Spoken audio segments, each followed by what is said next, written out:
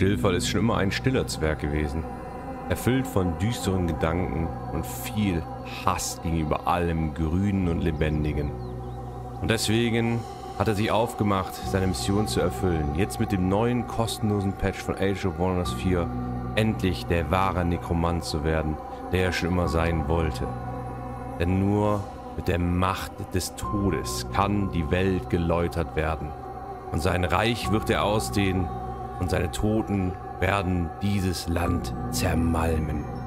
Der feurigen Glut des Säbelzahntigers und seinem ewig währenden Hass. Damit willkommen zu einer düsteren Stunde. Denn in diesem Video werden wir uns mal die Nekromantie anschauen, die neu bearbeitet wurde im Patch, der jetzt mit Primal 4 herausgekommen ist. Damit ihr wisst, womit das zu tun habt, wir werden hier ein abridged, also ein geschnittenes Let's Play sehen, wo ich euch die wichtigsten Highlights zeige, die wichtigsten Kämpfe und die wichtigsten Eindrücke hoffentlich vermitteln kann, die die Nekromantie so bietet. Also seid willkommen. Um den Aufstieg von Stillfall den Nekromanten zu gewährleisten, müssen wir erst ein paar Dinge erledigen. Wie immer bei Age of Wonders 4 werden wir erstmal die Gegend erkunden, unsere Macht erhöhen, indem wir alle möglichen Dinge umhauen und einsammeln. Denn nur so können wir wirklich Nekromant werden. Und ja, um erstmal richtiger Nekromant zu werden, brauchen wir die Fähigkeit, die wir gerade erforschen. Das heißt, die ersten fünf Runden sind erstmal gar nicht so nekromantenartig. Das heißt, Stillfall muss erstmal seine Fähigkeiten entwickeln, um wirklich ein Nekromant zu sein. Und nach den drei Runden können wir nach dem Kampf jetzt Untote beschwören. Und das wollen wir jetzt auf jeden Fall mal ausprobieren und vor allem will Stillfall damit seine Macht demonstrieren und diese Karte unterjochen. Die Einstellungen sind relativ simpel. Wir haben eine Pangea-Map und wir wollen wieder gegen die beiden Naturfürstinnen, die die Naga-Form auch bekommen können, kämpfen. Wie ihr seht, kurze Zeit später können wir Skelett-Wiederbelebung erforschen und können damit nach dem Kampf Seelen ausgeben, um Einheiten wiederzubeleben. Wir wollen uns mal anschauen, wie gut das funktioniert. Als nächstes können wir den Nekromanten erforschen oder natürlich die super krasse Fähigkeit, den urtümlichen Säbelzahntiger zu beschwören. Denn das ist unser Totemtier, denn Stillfall ist erfüllt vom brennenden Hass, den er auf alles hat, was lebendig ist. Und deswegen wird alles in Aschenland verwandelt, was er berührt. Seine untoten Armeen sollen durch diese Lande ziehen und jegliches Leben vernichten. Wir sehen auch schon, wir haben erste freie Städte betroffen, die sich, obwohl sie untot sind, weigern, unsere Macht anzuerkennen. Das müssen wir natürlich definitiv ändern. Entweder müssen wir das mit Geld machen oder mit Gewalt. Denn diese Ratten hier wären ein tatsächlich toller Vasall, der uns auf jeden Fall weiterhelfen würde. Dann haben wir natürlich den typischen Vasall nebenan Eichenwald. Äh, ja, ist auch unsere Rasse, deswegen ist das vollkommen in Ordnung. Die können wir auch am Leben lassen. Ich verweise gerade noch auf die ähm, Karteneinstellung, wie ihr sehen könnt. Jo, niedrige Bevölkerung sehe ich nicht wirklich, aber sei es drum. Und ansonsten bauen wir erstmal unsere Stadt aus, versuchen unseren Aschensäbel, Bahntiger zu verehren, damit er uns die Macht verleihen kann, um diese Karte tatsächlich unserem Willen zu unterwerfen. Und dafür brauchen wir noch einiges an Arbeit, denn natürlich spielen wir auf brutal, spielen gegen schwere KI, zwar mit dem Mod, der die KI nicht ganz so cheatend lässt, das heißt brutal light, aber trotzdem werden wir einigen Herausforderungen gegenüberstehen, wie ihr sehen werdet. Wir werden auch äh, eine recht enge Map haben, wie ihr auch sehen könnt, mit recht gemeinen ähm, Positionen von Gegnern, also diese Plagehochten, wie es so schön heißt. Und hier sehen wir schon einen Untotenplagehocht. Auch das kann sich natürlich Stillfall überhaupt nicht gefallen lassen, dass sich hier einfach untote Wesen auf dieser Map befinden, die eiskalt seine Herrschaft anzweifeln. Deswegen lernt er zunächst mal auf Level 4 das dunkle Ritual, um möglichst viele Zombies unter seinen Willen zu vereinen. Außerdem kann er Untote erwecken, um auch verbündete Untote, was extrem krass ist, wiederzubeleben oder zumindest ekliges Lebendes in einen untoten Zombie zu verwandeln. Während sich Stillfall also mit rasender Wut diesen untoten Hort äh, zuwenden will, entdeckt er Nimue, die erste der beiden Naturgöttinnen. Stillfall ist kein dummer Zwerg, er weiß durchaus, dass man sich Verbündete suchen sollte. Das heißt, sollte Nimue geneigt sein, ihm in, seinen, in seiner Mission das Leben zu vernichten, wie es jetzt in der Form existiert, dann ist er davon nicht ganz abgeneigt und deswegen stimmt er Nimue jetzt zu. Es das heißt ja nicht, dass er, nachdem er diese Map mit ihr zusammen erobert hat, sie danach nicht noch immer auslöschen kann. Das heißt, der Pakt wird erstmal besiegelt, auch wenn es ein zweifelhafter Pakt ist. Und damit ist auf jeden Fall Serena unser Ziel. Sie wird vernichtet werden, sie soll das untote Heer speisen und das ist unser langfristiges Ziel. Das ist ganz cool bei, dem Map, bei der Map. Wir können immer eine von beiden für uns gewinnen und die andere dann angehen. Finde ich eigentlich eine ganz nette Sache. Und jetzt können wir richtig eskalieren. Jetzt haben wir die Untotenbeschwörung plus wir haben die Säbelzahnbeschwörung. Das heißt, es wird langsam Zeit für unseren ersten Kampf. Gesagt, getan und deswegen kämpfen wir direkt gegen einen T4-Knochendrachen. Also im Prinzip bekämpfen wir das, was wir auf diesem Land finden wollen. Aber wer sich nicht den Willen von Stilfer unterwirft, wirft, muss halt sterben. Und dazu benutzen wir natürlich unsere urtümliche Tierbeschwörung. Guckt euch das an.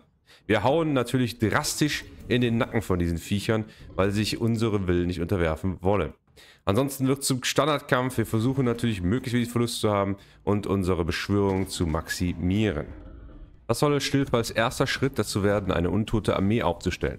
Das heißt, wir hoffen danach einige tolle, leckere Kreaturen beschwören zu können, um unsere untote Armee endlich aufblühen zu lassen. Am Anfang könnt ihr seit dem Patch alles beschwören an verschiedenen Skeletteinheiten mit verschiedenen Fähigkeiten. Kampfmagier, Bogenschützen, Schild und Schwert, Speer. Das ist einfach super und das hoffen wir auch zu bekommen danach. Jede Einheit, die von irgendeiner Rasse abstammt, müsste uns eine Beschwörung ermöglichen. Dann müsst ihr natürlich noch die entsprechenden Seelen haben. Das heißt, wir müssen auch schön fleißig Einheiten töten, um wirklich unser volles Potenzial ausschöpfen zu können. Und so lange benutzen wir unser Totemtier, denn das gibt uns die Macht mit seiner feurigen Hass und seiner Inbrunst uns hier den, sag ich mal, den Vorteil zu gewähren, um diesen bescheuerten Drachen, der sich nicht unterwerfen will, komplett auseinanderzunehmen, wie ihr es hier sehen könnt. Er versucht noch einen letzten Aufschrei gegen Stilfe anzukämpfen, wird dann aber niedergerungen. Ohne Verluste kommen wir aus dem Kampf heraus, denn das ist die Macht unseres Totemtiers und die Macht des Hasses, der Stillfall erfüllt. Und jetzt können wir unsere ersten Einheiten beschwören, wie ihr seht. Wir können einfach so viel, wie wir wollen, beschwören. Das heißt, ich hätte sogar drei Einheiten hier beschwören können unfassbar, was Stillfall jetzt für eine Macht auf einmal zu bekommen hat. Ihr seht, wir sind auf einmal drastisch gestiegen, konnten den nächsten Kampf automatisch beenden und uns jetzt sogar noch einen Skelettmagier dazu holen. Das heißt, wir haben einen massiven Vorteil bekommen, dadurch, dass wir diese Nekromantie benutzen. Das ist genau das, was Stillfall haben will. Und jetzt mal raus aus meiner Sicht, genau das, was man in so einem Spiel haben will. Man will sich mächtig fühlen, man will einfach krasse Dinge sehen und das ist genau das. Das Beschwören dieses Totemtiers und dieses Beschwören der Untoten ist einfach eine super Kombination, die einfach ein richtig gutes Spielgefühl schafft. Solch ein großer Sieg führt natürlich dazu, dass wir neue Anhänger bekommen und deswegen holen wir uns Koba die Standhafte als zweiten Helden. Noch keine große Transformation durchlaufen, genauso wie unser Stillfall selber, aber in der Lage, uns einen Außenposten gegen Artuk vom Wolf packt zu bauen, um ihre Machenschaften einzudämmen. Denn auch sie ist eine Schattenanbeterin, die ich ja selber mal erstellt habe. Könnt ihr gerne im Video mal gucken. Zwinker, zwinker. Und sie will mit ihren fiesen Wölfen, und das werden wir auch noch bald sehen, die Macht an sich reißen. Das kann natürlich nicht sein. Die einzige Schattenaffinität und die einzig wahre Dunkelheit, die es hier gibt, ist das Nekromantentum. Und nicht irgendwelche verdorbenen Eiswölfe, die mit ihrem schwächenden Geheul unsere Moral herabsetzen wollen. Denn darauf pfeifen unsere Untoten. Moral interessiert sie gar nicht. Das heißt, wir werden mit ihr später, früher oder später, kurzen Prozess machen. Währenddessen weigern sich weiterhin diese verfluchten untoten Ratten, die die große Transformation schon durchgeführt haben, sich unserem Willen zu unterwerfen und schicken sogar frecherweise einen Trupp. Aber Stillfall ist intelligent. Mit diplomatischen Zügen und viel Geld kann er sie für sich gewinnen. Und das führt dazu, dass wir da keine Probleme mehr haben. Wir hoffen natürlich, dass wir vielleicht Eichenwald, was nebenan ist von uns und unserer Rasse angehört, zu unterwerfen. Außerdem werden wir von irgendwelchen fremden Infestionen, also Plagenhorten angegriffen. Das weiß selbst Stillfall nicht, warum seine Macht schon so weit in diese Welt hinausgetragen wurde. Aber definitiv hat er wohl schon seine Stufen oder seine Pfoten auf dieser Erde hinterlassen. Doch wer große Macht haben will, muss auch große Leistungen verbringen. Und deswegen kommen wir zu unserer größten Herausforderung bisher. Der Rest war bisher alles nur Pillepalle, denn jetzt guckt euch an, gegen das, was wir kämpfen müssen, um unser Totemtier zufriedenzustellen, um uns den Segen wirklich zu abzuholen und wirklich diese Karte mit dem Segen und der feurigen Wut unseres Säbelzahntigers ja, dominieren zu können. Denn wir müssen gegen zwei T5-Einheiten und zwei brutale Bestien ankämpfen, die unsere untote Existenz tatsächlich bedrohen. Es ist aber ein klares Statement von Stillfall zu zeigen, dass die Untotenmacht, selbst wenn sie noch so gering ist, mit einfachen Skeletten und Zombies verwesen und ja schon fast billig und schäbig, dennoch, dass wir dennoch so eine Armee besiegen können. Und das zeigt uns, ob wir überleben sollen oder ob wir tatsächlich den ewigen Tod sterben müssen.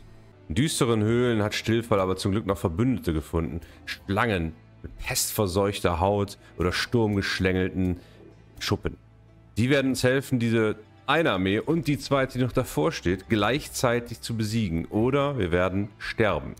Das ist das, was wir jetzt haben. Das ist das Gemusterte. Mehr werden wir nicht bringen. Zwei Stacks mit neuer untoter Macht, einem Animisten dabei und einem Urteil, wie ihr seht, das eindeutig tödlich enden soll. Oh, halt, bevor wir sehen können, ob ein T1-Stack ein T5-Stack besiegen kann, zusätzlich mit einem weiteren Stack, müsst ihr euch erstmal die Frage stellen. Liebt ihr Nekromantie so wie Stillfall? Lebt ihr es, den frischen, leckeren Geruch vom modrigen Grab zu riechen? Liebt ihr es, auf Knochen zu spielen, als wenn es ein Xylophon wäre? Dann abonniert jetzt diesen Kanal und gebt auf jeden Fall ein Like und einen Kommentar. Denn nur so könnt ihr zeigen, dass ihr wirklich Nekromantie liebt. Aber genug davon. Gehen wir zum Kampf. Was für ein Kampf das nämlich sein wird, werden wir jetzt sehen. Denn diese T5-Einheiten, deren Namen ich immer vergesse, und diese dicken Bestien da hinten, die können einfach Einheiten fressen. Und zwar einfach mal gemütlich auch T1, T2. Ich glaube nicht mehr T3-Einheiten, bin mir auch nicht ganz sicher. Und das ist natürlich schon mal fatal. Wir haben nämlich jetzt auch nicht die großartig über numerische Überlegenheit. Wir kämpfen hier 12 gegen 10 Einheiten und sind natürlich komplett outmatched, wenn es um die Ränge geht.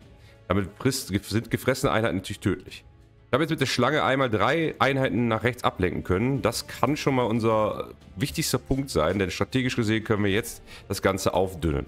Beschwören natürlich unser Aschensäbler, denn nur so kann Stilfer wirklich zeigen, dass er in irgendeiner Form die Gunst dieses Säblers gewonnen hat. Bleibt abzuwarten, ob der Säbelzahntiger nicht selber im Magen der Bestie enden wird. Ansonsten hat Stilfer natürlich an der Hohen Schule des Omni studiert. Das bedeutet, er macht die klassischen Tricks, die man immer haben kann. Wir gucken, dass wir die Einheiten splitten, wie gesagt, durch die Schlange und einfach auch durch unsere Einheiten, indem wir sie in einen richtig dicken Knüttel zusammensetzen. Dieser Knüttel ist natürlich jetzt nicht gerade vorteilhaft, wenn diese dicken Bestien kommen und ihren demoralisierenden Schrei machen. Wir wollen aber möglichst mit unserer beschworenen Einheiten, auch die Taktik, die wir von der Omni School kennen, benutzen, denn die beschworenen Einheiten können im Bestfall viele Sachen aufsaugen. Ihr seht, unser Säbelzahntiger Nummer 1 ist schon mal gestorben. Ich glaube, er wurde sogar gefressen, was okay ist. Das Problem ist, die können das nicht nur einmal im Kampf machen, sondern auch mehrfach. Um der Ogre, den wir haben und der Gegner hat, können natürlich auch jeweils einen Instant-Kill-Schlag machen. Auch da müssen wir natürlich aufpassen. Ansonsten, zweiter Totemtier ist da und versucht natürlich diesen, ich glaube Karak oder wie er heißt, dieses Bestie anzugreifen und zu schauen, dass es möglichst Schaden kriegt. Spoiler-Alarm, lange überleben wird dieses Totemtier auch nicht. Der andere ist schon mitten in unseren Reihen und hat schon mal seinen fiesen Brüll oder sein fieses Geschrei ausgelöst. Gute ist, unsere beschworenen Untoteneinheiten, so wie es sich gehört für echte Untoteneinheiten, haben natürlich keinerlei Moralsystem, das heißt, sie werden nicht von negativer Moral betroffen. Jetzt seht ihr, wie ich ganz viel rumfummel und schaue, was kann Stillfall jetzt hier machen? Können wir es irgendwie schaffen, vielleicht eine von dicken Bestie zu töten? Schaffen wir es vielleicht, ein sinnvolles dunkles Ritual anzusetzen? Das sind all die Fragen, die jetzt essentiell sind, denn jeder falsche Schritt kann hier das Ausbedeuten, wie wir gleich noch sehen werden. Am Ende der Runde sieht das Ganze dann so aus. Naja, nicht wirklich geschafft, was ich wollte. Ich wollte halt versuchen, das dunkle Ritual in irgendeiner Weise anständig anzubringen. Ist nicht so drin, ich schaffe es aber zumindest einen einzigen Zombie jetzt wieder zu beleben, was uns schon mal weiterhelfen kann, denn der kann jetzt hier dem Krokodil nochmal ordentlich auf die Mütze geben. Wir haben ein großes Problem, unser Koba, unser zweiter Held, hat übrigens so sehr von der Macht von Stillfall geschluckt und ge gegessen, dass er irgendwie einen krassen Bug hat einfach. Äh, die Waffe ist das Problem. Der, ja, ich sag mal, manifestiert sich in einer gigantischen Form. Ich weiß nicht, wer den Fehler schon mal gesehen hat. Der kennt den dann. Die Grafik oder das Model fliegt also sozusagen raus. Dann sehen wir, dass die T5-Einheit unser nächste Einheit gefressen hat. Diesmal ein Skelett mit Schild. Unsere Schlange rechts stirbt auch. Unser Blasrohrschütze hinten, glaube ich, war es, ist vom Krokodil eingekornert worden, also in die Ecke gedrängt worden. Und zum Glück haben wir mit unserer beschworenen Einheit noch unseren Karak oder diesen T5-Bestie nochmal zurückhalten können. Das ist also die nächste Runde. Wir haben jetzt zwei Einheiten verloren. Ein Fernkämpfer ist gebunden im Kampf. Wir können kein neues Totem-Tier mehr beschwören. Das heißt, wir sind jetzt darauf angewiesen, mit dem klarzukommen, was wir haben. Und keins von den T5-Einheiten ist bisher gestorben. Keine einzige. Was das Ganze natürlich nicht unbedingt einfacher macht. Der Gott der Oger scheint aber mit uns zu sein, denn unsere One-Hit-Kill-Fähigkeit tötet tatsächlich den feindlichen Oger und heilt unseren eigenen. Damit haben wir links so ein bisschen Luft geschaffen, die wir auch dringend brauchen, um den nächsten Oger, die zwei Bestien und die zwei Trolle, die danach kommen, umzubringen. Das ist leichter gesagt als getan. Wir haben aber zumindest einen kleinen Sieg errungen, indem wir Zeit verzögert haben und wie gesagt die linke Flanke ja, einfach mal befreit haben. Ihr seht, wir können jetzt mit unseren schönen Skelettbogenschützen und unserem Helden oder sagen wir Haupthelden, also Stillfall, ein bisschen Damage machen. Wir haben also ein bisschen Fernkämpfer noch in der Hinterhand, die hier wirklich noch Schaden machen können, die noch nicht gebunden sind. Das Krokodil unten, was unseren ähm, Bogenschützen, nee, Blasrohrschützen, ähm, gebunden hatte, ist tatsächlich gestorben an, ich glaube, Verbrennen, Verwesen. Das, was unsere Skelette halt auslösen können und unser Stillfall auslösen kann. Jetzt geht es darum, diese blöde Bestie zu killen. Die T5-Bestie, die da vor uns steht. Denn die muss einfach, und ihr seht jetzt kommt nämlich die Kobas super Inhalieren von Stillfalls Macht. Das was der Bug. Äh, ich gucke gerade, was ist das? Ja, es wird das gefrorene Schwert sein. Äh, werde ich nach dem Kampf natürlich ablegen. Egal, zurück. Also, wir versuchen jetzt irgendwie diese Bestie zu töten, aber ihr seht, wie wenig Schaden wir da machen. Ne? Also jeder einer knallt da drauf. Es ist brutal, wie viel wir draufhauen müssen, um diese Bestie zu besiegen. Die sind sehr, sehr stark. Die kann man auch nicht rekrutieren, leider. Aber, oh ja, da ist Kuba wieder. Äh, er sieht aber, dass sie auch direkt wieder die nächste einer tötet. Blasrohrschütze mit einem Schlag einfach umhaut. Dann kommt wieder dieses Gebrüll. Und langsam aber sicher kommt der Elefant und der zweite Sumpftroll näher, was das Ganze natürlich nicht einfach macht. Wir haben noch einen tatsächlich Aschenzahn, Säbelzahn, wie auch immer. Und der kann uns noch ein bisschen helfen, was ganz gut ist. Da hätte ich jetzt den Sprung verwenden sollen. Habe ich, glaube ich, nicht gemacht. Das ist ein bisschen schade, dass der verloren gegangen ist. Ähm, ja, kann sich natürlich rächen. Versucht dann den Gegenschlag erstmal abzuziehen, damit unser Held keinen Gegenschlag bekommt. Ihr seht wieder, Koba äh, manifestiert sich wieder in der Unendlichkeit. Und das macht langsam aber sicher dieses Viech mal... Ja, ja bringt es langsam mal zu Boden, aber nicht wirklich. Ihr seht, das dauert und dauert und dauert. Wir brauchen fast die gesamte Runde. Unsere Nahkampfeinheiten, die jetzt oben stehen, kommen ja jetzt auch wirklich nicht hinterher. Das heißt, wir kriegen auch keinen extra Schaden durch die, weil die einfach nicht von der Bewegung her herankommen. Und ihr seht, beide sind fast tot. Jetzt splitte ich auch noch ein bisschen Damage, war vielleicht ein Fehler, aber Halleluja, wir haben es geschafft. Der erste fällt. Das sieht bisher ganz gut aus. Wir haben natürlich Verluste erlitten. Ich kann aber schon mal dazu sagen, dass Verluste natürlich von Skeletten gerade nicht so relevant sind, denn die können wir relativ gut nachmustern. Denn die Macht der Nekromantie ist einfach sehr, sehr, sehr krass und kann uns immer wieder Nachschub geben. Das werden wir im Laufe dieses Aua Let's Plays auch nochmal sehen. Ihr seht, oben die nächste Einheit wurde gefressen. Die T5-Einheit konnte wieder eine Einheit fressen. Unten ist unser ähm, Skelett wiederbelebt worden mit ja, fast vollen HP, was ganz gut ist. Bringt uns nochmal einen kleinen Vorteil. Das heißt, wir haben nochmal eine Nahkampf-Einheit hier, die uns unterstützen kann. Und wir haben es geschafft. Die zweite T5-Einheit ist tot. Ihr seht auch, dass wir jetzt noch ein Skelett bekommen haben. Das liegt daran, dass wenn die Karaks sterben und die eine Einheit verschlungen haben, die nicht beschworen ist, dann spucken die die in Anführungszeichen wieder aus und dann kann man sie wieder nutzen. Das heißt, wir konnten zwei Einheiten damit nochmal retten und uns damit den Sieg auf jeden Fall sichern. Wir sind zumindest nicht gestorben. Ich kann aber sagen, natürlich, wenn uns jetzt Artak den Krieg erklärt, sind wir durch. Denn wir haben gar keine Armee und haben sehr viel jetzt hier verloren. Trotzdem ist der Sieg natürlich einfach für die Moral und einfach für das für die Dramatik natürlich super. Weil jetzt haben wir gezeigt, dass wir unserem Totem-Tier treu sind, dass wir alle Befehle von ihm durchführen, selbst wenn es unseren Tod bedeuten könnte. Das Ergebnis sieht dann folgendermaßen aus. Wir haben drei Einheiten verloren. Die Schlange mussten wir natürlich opfern und zwei Blasrohrschützen. Ihr merkt, die Skelette, die gefressen wurden, ich glaube der Phantomkrieger war es noch, die sind uns wieder ins Inventar gelegt worden sozusagen. Der Kampf war sauschwer. Aber ähm, hat ganz gut geklappt. Eben wieder durch die klassischen Omni-Taktiken. Ja, kann ich euch nur mal empfehlen. Guckt einfach mal in die Tutorials rein. Ich erkläre euch das alles, zeige euch das nochmal alles. Da könnt ihr nochmal Hilfe holen. Aber egal. Zurück zum Video. Wir haben jetzt die Waffe getauscht. Damit haben wir keine Bugs mehr. Und Koba sollte sich jetzt anständig verhalten und nicht mehr über die Unendlichkeit sich manifestieren. Die Ergebnisse dieses Quests finde ich erbärmlich schlecht. Und das ist auch übrigens alles an Quests, was ihr aus dem neuen Primal Fury DLC bekommt. Richtig, richtig Schlecht, darf ich jetzt einfach mal am Rande hoffentlich erwähnen. Aber die Beschwörung ist natürlich genial und hat uns hier auch geholfen, den Sieg zu erringen. Denn ohne diese Beschwörung, dieses Säbelzahnes, wäre es niemals so einfach geworden, wie es jetzt war. Bilfall ist natürlich mit einer unendlichen Wut und einem unendlichen Hass erfüllt, aber ist nicht gerade der, sage ich mal, smarteste Kerl. Deswegen haben wir unsere Forschung ziemlich schwach aufgestellt und nehmen uns jetzt ist das zweite Buch, wo wir die Phantomkrieger beschwören können die uns ein bisschen verstärken und den magischen Schutz, um so ein bisschen die Nachteile von untoten Einheiten aufzufangen, denn die haben sehr viele ja, Resistenzschwächen gegen Feuer, gegen Heiligen, also ja, Heiligenschaden, genau, Geistschaden. Und wir schaffen es auch, wie ihr sehen könnt, ganz strategisch, wie ich es angedeutet hatte, mit unserer Freundin Nemoe einen Pakt zu schließen, dass sie im Endeffekt nach der Map wahrscheinlich nochmal durchführt von uns. Ja, das lassen wir jetzt einfach mal so da stehen soll uns jetzt erstmal nicht kümmern. Es ist wichtig, dass wir unsere strategische Position verbessern, denn Artuk und eben die Sirena werden uns beide bedrohen und da müssen wir gucken, dass wir irgendwo einen Puffer haben, sodass wir ein bisschen weniger von der Aggression abbekommen, als es eigentlich nötig wäre oder geschehen würde. Da Stillfall kaum Platz für seine Städte hat, ja, mussten wir einfach Urquell, unsere zweite Stadt, direkt neben unserer Hauptstadt quetschen. Kann ich auch nur nochmal aus der omnischen Schule empfehlen. Tut das durchaus mal. Es geht meist einfach darum, die Grundwerte mitzunehmen. Außerdem haben wir hier drumherum viel Wasser, was uns in ertragreiche Gebiete gibt, die sehr, sehr, sehr ordentlich sind. Gerade mit dem neuen Update, das vor einigen Patches rauskam, auch kostenlos. Und eben die Wassergebiete sehr, sehr potenziell also ja, mit hohem Potenzial ausgestattet hat. Dann seht ihr, wir haben unseren nächsten Gegner gefunden. Auch einer von meinen, den Evolver von den Breedern. Der ist auf jeden Fall einer, der im Untergrund startet. Seht aber, der hat uns schon mal direkt eingekesselt mit zwei Städten. Das macht die KI gerne, ist natürlich auf hoher Schwierigkeitsstufe auch irgendwo zu erwarten. Das heißt, auch damit müssen wir klarkommen, auch er hasst uns. Der dritte Held wird dann Alexunda Matros, eine rattenhafte Konstrukteur. Das heißt, jemand mit Wichtgestalt. Unser erster untoter Held, der schon mit der großen Transformation ausgestattet ist, der also den Schritt in die richtige Richtung unternommen hat. Genau das, was wir brauchen. Denn den können wir jetzt heilen. Den können wir wiederbeleben, meine ich auch, aber mit bestimmten Fähigkeiten. Aber auf jeden Fall sehr gut heilen, sehr gut buffen mit unseren Nekromanten. Und wir können jetzt von unserer Stadt, die spreche ich nicht erst aus, lebendige Nebel und Dragoner, die auch untot sind, beschwören. Das ist super. Also der lebendige Nebel ist nicht untot, aber der Dragoner wird untot sein, weil er auch die Transformation durchgeführt hat.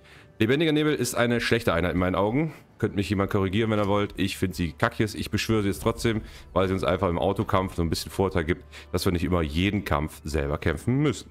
Ganz Stillfall, also das Meer für sich erobert, gehen wir ein Bündnis mit Nemue ein um wirklich die Sache zu besiegeln. Die Sache wird uns natürlich jetzt ein bisschen mehr unter Druck setzen, denn wenn sie Krieg anfängt, werden wir auch Krieg anfangen müssen.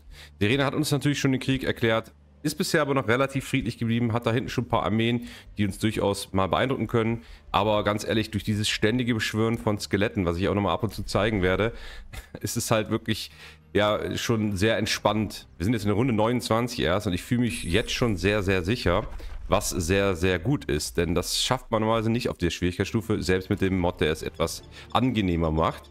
Äh, denn ihr habt einfach so viele Möglichkeiten, wenn ihr einen Stack besiegt, auch Verluste im Autokampf hinzunehmen oder Verluste halt, die ihr selber verursacht habt, um einfach da direkt wieder das Skeletten aufzufangen. Hier könnt ihr mal kurz sehen, was habe ich so im Empire Tree, also im Imperiumsentwicklung. Wichtig ist, geht immer auf magische Ursprung. Ne? Einheiten mit magischem Ursprung, Einheitenversorgung darf verringern. Dann diese Fähigkeit, Volksfähigkeit, die wir auch gewählt haben, die Beschwörer, sodass er weniger bezahlen muss für Beschwörungen und auch da wieder den, den Unterhalt für magische Einheiten und halt den, den Drang der magischen Einheit nochmal erhöht. Ja, und jetzt ähm, geht es langsam so, Nemue will, dass wir mit Artuk in den Krieg gehen. Und ja, ganz ehrlich, Artuk hat uns das Gebiet geklaut. Artuk will unsere Schattenherrschaft äh, anzweifeln und deswegen ist es schon ziemlich sinnvoll, dass wir dieser Aufforderung einfach nachkommen. Wird uns auch keinen Malus geben, also nichts an Imperium-Kosten oder sonst was. Von daher gibt es jetzt schön auf die Mütze von ihrem orkischen Haupt. Jetzt können wir gleich mal sehen, wie das so richtig schön abgeht mit der Nekromantie. Also wirklich tolle Sache, schaut es euch an. Wir haben natürlich extra jetzt den Krieg erklärt, weil ich gesehen habe, Artuk war gerade schwach. Machen einen schönen Auto-Resolve, da brauchen wir gar nicht selber zu kämpfen. Das ist kein Kampf, den wir sehen müssen. Ihr seht, wir verlieren sogar so nichts. Und jetzt kommt es, was kriegen wir denn jetzt Schönes?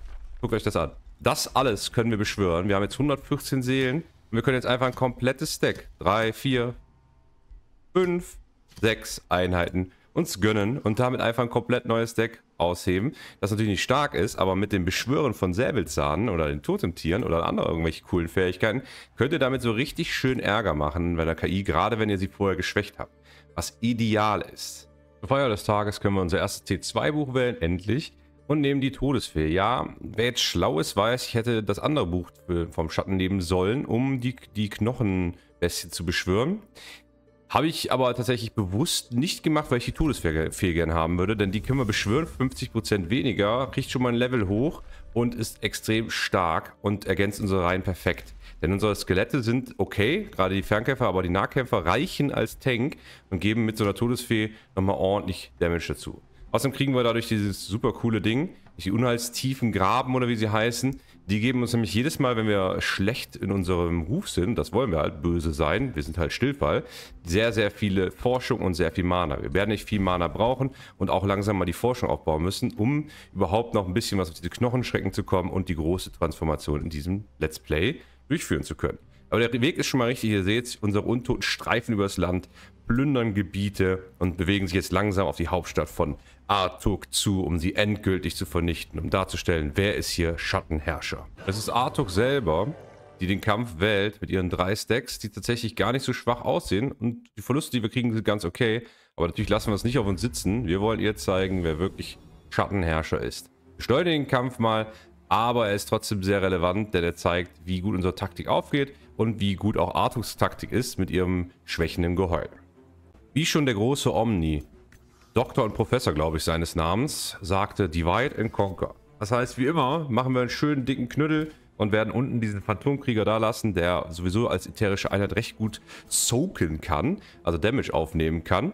Und schauen mal, ob wir vielleicht sogar nicht wie bei der Schlange hier so ein bisschen Durchbruch rechts auch machen können mit zwei, drei Einheiten. Aber erstmal wird der Phantomkrieger natürlich wieder eine Herde ablenken. Währenddessen heile ich und buffe ich alles, was so geht, um möglichst effizient zu sein und die Gefahr, die jetzt auf uns zu, zuwankt, ja, ein bisschen ab federn zu können. Natürlich gibt es wieder unser Säbelzahn, der schön hinten in diese Fernkampfeinheiten reinbeschwommen wird. Der habe ich keine Hoffnung, dass er überlebt oder sowas. Das auf keinen Fall. Ihr seht aber, wir haben jetzt auch verschiedene Beschwörungsfähigkeiten. Unser Held kann zwischen Tier beschwören. Und äh, ja, ansonsten tatsächlich noch keine Beschwörungsfähigkeiten, außer eben das Dark Ritual, das dunkle Ritual. Ansonsten seht ihr, wir knüdeln uns so richtig schön. Wir merken gerade, okay, da oben links scheint noch irgendwie so eine Buff-Party abzugehen. Das heißt, wir stellen uns ein bisschen mehr in die Mitte und hoffen, dass die rechte Seite mit den schwachen Fernkämpfern zuerst auf uns zukommt. Ich habe kurz gesehen, das beschworene Tier war ein Einhorn. Das macht einen Charge-Angriff und haut schon mal schön den Fernkampf auf die Mütze. Ihr seht aber auch Arthur-Strategie. Gut, nicht ganz gut ausgeführt. Das ist ja meine eigene Strategie. Läuft mit dem Helden nach vorne und macht dieses schwächende Geheul. Wenn ihr das wirklich gut in eine Masse reinmacht, könnt ihr Einheiten tatsächlich massiv töten. Also mache ich hier gerade mal eine schamlose Eigenwerbung. Guckt euch das Video an, wo ich die verschiedenen Kulturideen, Rassenideen vorgestellt habe. Ist schon was älter, aber immer empfehlenswert. Denn wenn ihr dieses geschwächende Geheul wirklich in Massen reinhaut, ihr seht, wie viel Schaden das uns schon gemacht hat obwohl es überhaupt nicht effizient war. Aber wenn jeder von diesen kleinen Einheiten, die da auf diesen weißen Wölfen sitzt, euch diesen Schaden gibt, dann sterbt ihr auch sehr gerne mal. Das merkt man jetzt hier vorne ein bisschen in diesem Pulk, den ihr gerade sehen könnt, wo unser lebendiger Schatten ist, ja. Ähm, ansonsten es jetzt los, also richtig los. Die KI hat sich nach vorne bewegt, wurde so ein bisschen getriggert und jetzt können wir einzeln die Sachen auseinandernehmen. Der Held da vorne ist ziemlich mächtig, deswegen muss er natürlich als erst sterben. Das ist generell auch wieder die omnische Regel. Tötet die Helden zuerst. Ganz, ganz essentielle Geschichte. Wir machen gleich auch das, was Nekromantie nochmal stärker macht. Die Nekromanten an sich haben schon mal einen ganz guten äh, ja, One-Time-Attack, also einmaligen Schuss, der okay Frostschaden macht, was schon mal ganz nett ist. Aber vor allen Dingen können sie wie unser Hauptheld Stillfall tatsächlich auch wieder etwas wiederbeleben. Das heißt, sie können Untote wiederbeleben. Ja, worauf kann ich das anwenden? Das werden wir gleich mal sehen. Naja, mein Lehrmeister wäre jetzt nicht ganz so zufrieden mit mir, weil wir doch den Damage ein bisschen spreaden was nicht unbedingt gut ist. Außerdem seht ihr, dass unsere Skelette mittlerweile auch den aufsteigenden Zorn, der ja durch die ultümliche Kultur kommt, bekommen, weil ich diese Fähigkeit, die ihr jedes Mal bei jeder Kultur kriegt, wo ihr die Fähigkeit der Kultur auf alle Einheiten anwenden könnt, erforscht habe und auch angewandt habe. Den Helden haben wir jetzt doch noch irgendwo umgebracht, obwohl wir da relativ viel gespreadet haben. Das ist aber okay. Wir haben noch einiges übrig. Ihr seht, wir töten auch noch ein Pikinier, was sehr wichtig ist. Und ich hatte jetzt gehofft, ich kann jetzt Dark Ritual machen, aber völlige Fehlanzeige. Ich kann aber zumindest einen Zombie wiederbelegen. Ja, völlige Fehlanzeige einfach, weil ich den Heldenschuh benutzt hatte. Habe ich nicht gemerkt. Äh, ansonsten seht ihr meinen Phantomkrieger rechts, macht einen absolut genialen Job. Schild- und Schwerteinheiten rechts abführen, wenn sie ätherische und noch hohe Resistenz gegen physischen Angriff oder sowas haben. Es ist einfach genial. Ihr seht, ich hole sogar meinen Held zu, weil ich dachte, okay, ich glaube, wir können diese schwächeren Einheiten da einfach halten. Und habe dann nochmal schön eine Fähigkeit drauf äh, verwandt, die uns auch nochmal einen Zombie herbeiholt, um diese Front halt wirklich auch alleine dominieren zu können mit diesem Phantomkrieger, den Helden und diesen schworen Zombie. Jetzt seht ihr natürlich, die KI haut uns jetzt ordentlich unseren Dragoner kaputt. Der Hauptheld kommt, also Artuk mit einem Charge. Hier kriegt eine dicke Lanze. Brutal viel Schaden. Das ist ja auch die Idee dieser Kultur. Und ihr seht, unser Held stirbt auch fast. Es wird also nicht ganz so einfach, wie man jetzt vielleicht meinen mag. Aber jetzt kommen die Nekromanten ins Spiel. Denn der Dragoner, der gerade gestorben ist, wenn ich den Platz, wo er liegt, erstmal finde, erstens, weil ich bin nicht so intelligent, deswegen dauert das ein bisschen. Und zweitens, dann noch die Einheiten davon entferne, also ich sie jetzt töte, wie ich jetzt machen werde. Und hoffentlich nicht den Nekromanten verbraucht habe in seiner Bewegung. Dann, dann, wenn all diese Bedingungen eingetroffen sind und meine Intelligenz dazu ausgereicht hat, dann kann ich mit den Nekromanten tatsächlich diese Einheit wiederbeleben. Ihr seht, ich mache es jetzt aber natürlich komplett auf dem falschen Platz. Wer aufgepasst hat, hups, das sind die Zombies, das sind nicht die Dragoner. Ich bin ein bisschen verplant. Das heißt, ich muss jetzt erstmal hier diesen Platz freiräumen. Zack. Und jetzt kann ich mit dem anderen Nekromanten hier wiederbeleben. Jetzt muss ich erstmal den richtigen finden. Und es ist Stillfall der Nekromant. Und wir können jetzt hier den Dragoner einfach wiederbeleben. Das heißt, die T3-Einheit ist einfach wieder da. Das ist so richtig lecker und das macht wirklich, wirklich Spaß.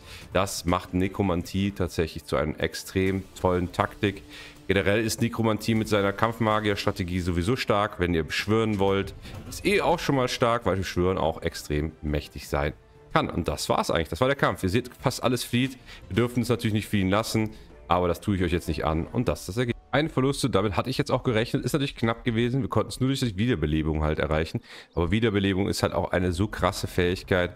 Sollte gerade auf höheren Schwierigkeitsstufen immer, immer mitnehmen. Und ihr seht, was wir jetzt wieder alles beschwören können. Es ist komplett abgespaced. Wir können jetzt unsere gesamten Seelen wieder ausgeben, die wir gerade im Kampf erhalten haben, um nochmal so Plünder-Squad freizuschalten, damit Stilfer wirklich richtig Terror und äh, Mord über das Land bringen kann. Das ist schon genial. Eine letzte Sache noch zur omnischen Schule. Und zwar zur Erklärung, warum sind die Einheiten vor Stilfer geflohen, außer dass er halt ein Nekromantiemeister ist und der Säbelzahn auf seiner Seite ist.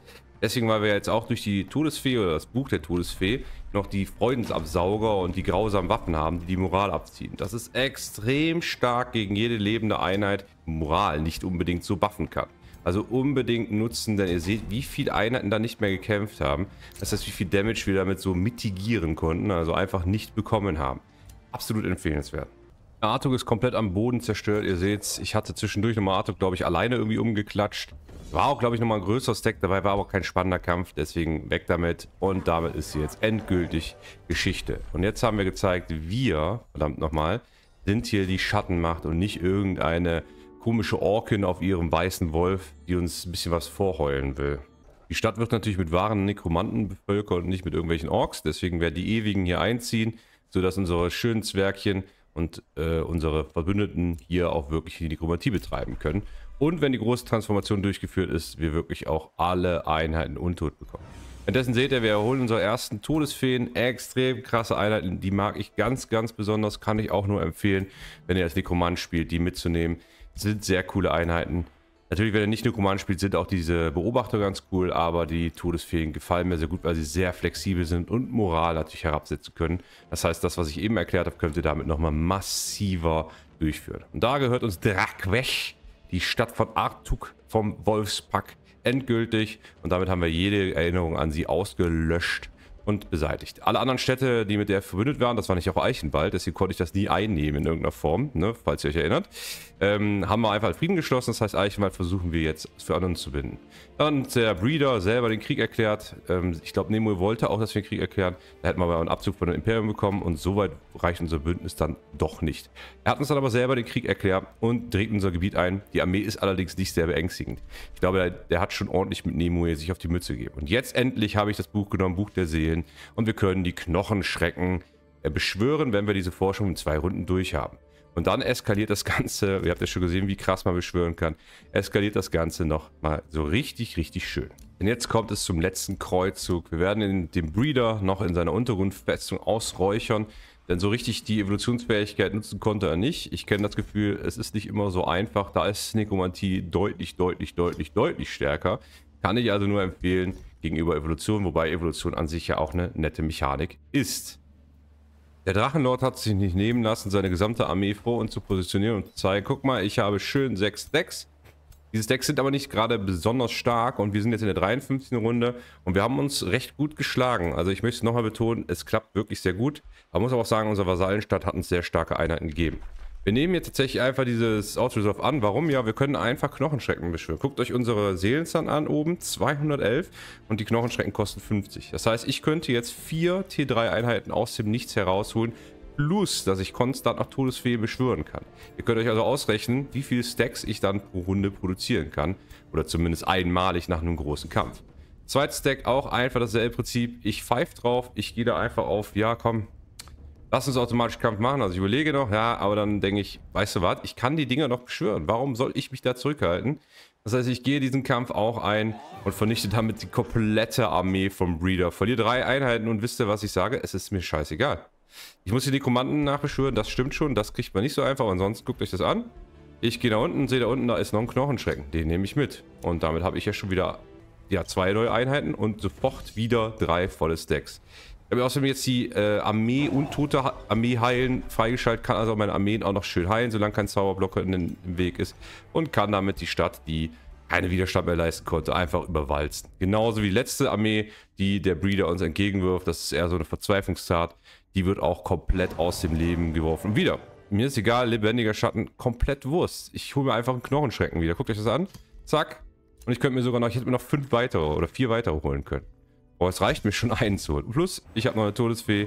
Damit sind meine Stacks wieder auf volle Zahl. Ich habe hier nicht mal mit, drei Stacks gekämpft, sondern nur mit zwei. Und trotzdem habe ich diese drei Stacks von Breeder, von dem Drachenlord, komplett aus dem Leben geknödelt. Was super ist. Und nochmal zeigt, wie stark dieser Taktik ist. Nach all dieser Zeit, nach all diesem Morden, nach all diesem Plündern, nach all dieser nekrotischen Energie ist es soweit. Wir können die große Verwandlung durchführen bzw. erforschen. Die übel riechende Legion, eine der besten Verzauberungen in meinen Augen. Schwächende Aura, mehr HP, super cool. Wir können zu Wicht gestalten werden, wodurch unsere Einheiten alle Lebensraub haben. Und wir können Knochendrachen theoretisch beschwören. Wenn wir T5-Einheiten von nicht fraktionsspezifischen, gibt ja auch keine fraktionsspezifischen T5-Einheiten, töten, können wir den Knochendrachen für Seelen beschwören.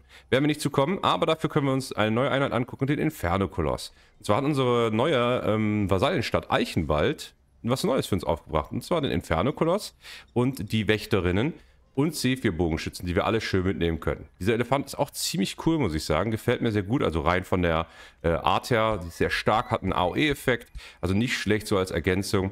Das heißt, das muss ich nochmal erwähnen, weil ich es nämlich in meinem äh, Review von dem DLC nicht getan habe. Durch den Patch ist zusätzlich noch diese Fähigkeit gekommen, dass die ähm, freien Städte einen gescheite Einheiten geben können. Richtig cool, macht richtig Spaß. Ihr habt es mit dem lebendigen Schatten gesehen, ihr habt es mit allem anderen gesehen. Und dann ist ja nebenbei Breeder endgültig zerstört worden, nachdem er wie viel Kämpfe verloren hat. Ich weiß es nicht, am Stück. Generell war er nicht so beeindruckend wie Artuk jetzt tatsächlich. Und ähm, jetzt geht es nur noch zu Serena. Das heißt, die letzte Mission im letzten Kreuzzug ist hier Grünhain zu erobern. Und das wird unser letzter Schritt sein und damit auch tatsächlich das Spiel für uns entscheiden, wenn wir es schaffen können. Serena ist ausgestattet mit extrem starken Naturfähigkeiten, super Wachstum, Blatthaut und so weiter und so fort. Massiv viel Lebensenergie und alles andere hat sie dabei. Sie hat auch ein recht krasses Deck da in der Stadt. Aber ich würde es jetzt klar irgendwie klimaktisch machen und das Ganze spannend machen, aber die KI die zwei neuen, die wir da bekommen haben durch die DLC, ist, ist irgendwie nicht gut. Also ich meine, Breeder war jetzt auch sehr schwach, aber sie hat einfach ihre Armee nachher rausgeschickt, das werden wir gleich sehen, und hat die Stadt einfach aufgegeben. Also die Stadt ist einfach weg. Diese Armee konnte ich einfach im Feld besiegen, konnte einfach meine Einheit wieder nachbeschwören und damit war es das. Und das waren zwei gute Stacks. Und jetzt müssen wir gucken, ob wir überhaupt noch irgendeinen richtig coolen Endkampf finden, denn irgendwie wirkt die KI so, als wenn sie ein bisschen überfordert von der ganzen Situation wäre. Kann natürlich daran liegen, wie gesagt, dass ich den Mod drin habe. Ihr seht jetzt mittlerweile auch hier nochmal, was wir alles beschwören können. Es macht super Spaß, mit den freien Städten jetzt wieder zu arbeiten. Es ist, ich habe es ja schon mal auch im Tippvideo, wieder schamlose Eigenwerbung, guckt es euch an, gesagt, wie wichtig so ein Bannerfürst-Modifikation sein kann oder generell diese Vasallmobilisierung. Und jetzt mit diesen neuen Fähigkeiten, dass ihr auch krasse Einheiten bekommt, macht das noch mehr Spaß. Nicht nur T3-Einheiten, sondern ganz, ganz viel anderes. Ja, und dann kämpfen wir den letzten Kampf. Ihr habt es gesehen. Ziemlich erbärmliches Setup, was die da hat. Ich habe keine Ahnung, was mit der KI los ist. Ich glaube, die hat einfach vor unserer Macht der Nekromantie komplett aufgegeben.